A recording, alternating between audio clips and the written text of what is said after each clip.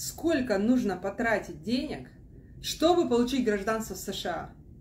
Друзья, хочу вас немножко расстроить. Вы не можете купить американское гражданство. Вы не можете купить синий паспорт.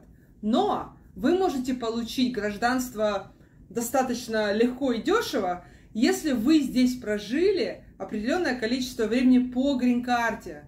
То есть, э, если это по браку, три года вы прожили с грин-картой. Если это по бизнес-эмиграции, вы должны показать, что вы пять лет прожили в США с грин-картой, платили налоги, никого не убивали, вели себя хорошо, э, ухаживали за своими детьми, окей, английский вы знаете. В таком случае вы можете получить гражданство. Но, что я вам сегодня расскажу, сколько стоит путь к гражданству – сколько стоят разные виды грин-карты, как можно получить грин-карту и сколько это обойдется для вас в разных случаях.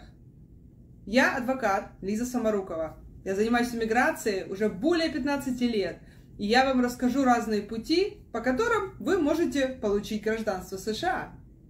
С вами иммиграционный адвокат Лиза Самарукова. Я занимаюсь иммиграцией уже много лет, и я знаю, как переехать в США быстро, легально и надежно. И сегодня я вам расскажу, сколько нужно потратить, чтобы эмигрировать в США и получить гражданство. Представим, что вы решились на этот важный шаг, что вы решились переехать в США, но у вас нет родственников, нет связей с Америкой, но у вас есть бизнес в вашей стране. Давайте поговорим, как можно эмигрировать через бизнес. Ну, к примеру, возьмем вариант, когда деньги для вас не проблема.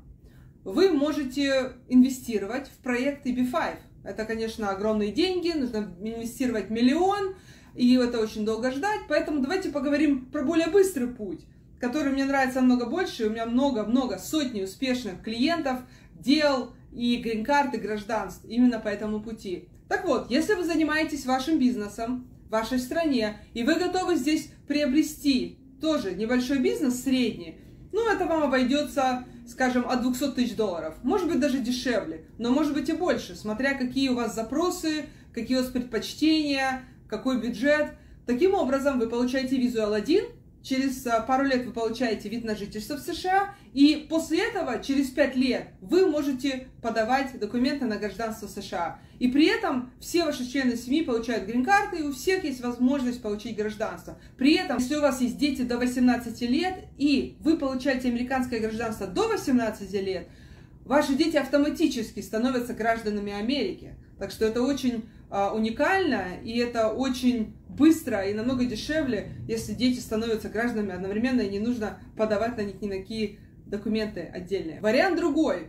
Допустим, деньги у вас ограничены, и вы не можете себе позволить купить какой-то бизнес, вы можете открыть бизнес свой и переехать, допустим, по визе Е2. А может быть, вы человек с достижениями в определенной области, в бизнесе, в науке, в искусстве, а, в образовании, у вас, может быть, есть свой садик, а, у вас есть какие-то свои программы, вы психолог, вы бизнесмен, вы тогда можете претендовать на грин-карту по выдающимся заслугам. Или на грин-карту, если вы человек, который в интересах США. То есть вы показываете, что вы уникальны в чем-то, вы что-то изобретаете, вы что-то делаете полезное, вы крутой в своей области, в своей сфере деятельности, и вы приезжаете в США, чтобы тоже приносить пользу тогда расходы будут упираться чисто в ту деятельность, которой вы занимаетесь, и э, там э, расходы на адвоката. То есть вы можете за все про все не считая расходов на жизнь, потратить там, не знаю, 10-20 тысяч долларов, чтобы получить всей семье грин-карты сразу на 10 лет. И, опять же,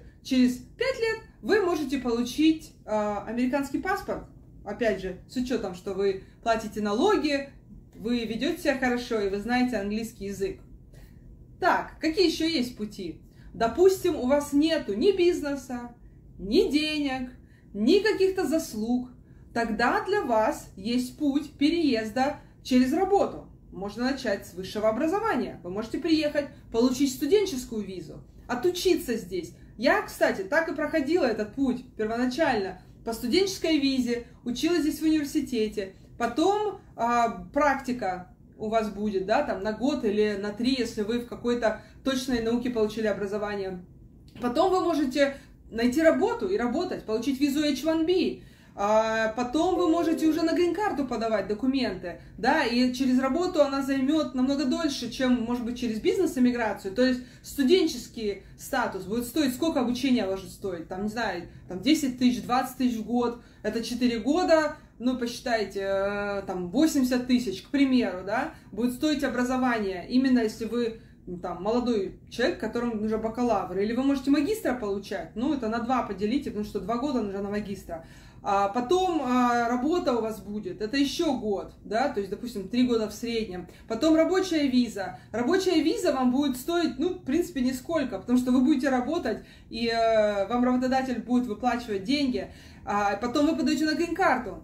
Тоже платит работодатель за грин-карту. Если вы отличный специалист в области там, науки, IT, а, да, инженер, вы, математик и так далее, вас будут заинтересованы и вас могут нанять, то на вас могут подать документы. Понятно, нелегкий путь. А может быть, вы найдете работу даже в процессе получения вашего образования, да, и на вас подадут на грин-карту. Даже не обязательно быть каким-то заумным, э, образованным человеком. Вы, может быть, просто там менеджер, или вы, может быть, даже там готовите хорошо, да, и вас в ресторан могут взять на работу. Все это есть, дольше займет, цена вопроса намного меньше, чем через бизнес, в разы, но этот вариант тоже рабочий, да, поэтому если у вас нету здесь жены или мужа, где гражданство будет там буквально за 3-4 года, потому что грин-карта намного быстрее, вы можете инвестировать, купив бизнес, получить грин-карту и гражданство. Вы можете здесь получить грин-карту через выдающиеся заслуги, будучи каким-то успешным